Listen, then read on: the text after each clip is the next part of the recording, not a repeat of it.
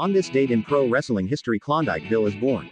William Soloweyko, born December 1, 1931, and died October 3, 2000, better known by his ring name Klondike Bill, was a Canadian professional wrestler.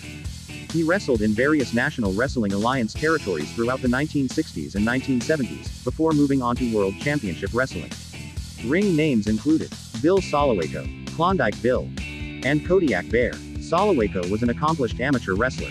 After training with Stu Hart in the famous Hart Dungeon in Calgary, Alberta, he began his career wrestling as Bill, the Brute, Soloweyko.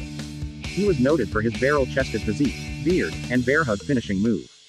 In the 1960s Bill was known for being the only person to consume two 72-ounce steaks at the Big Texan Steak Ranch in the one-hour time limit.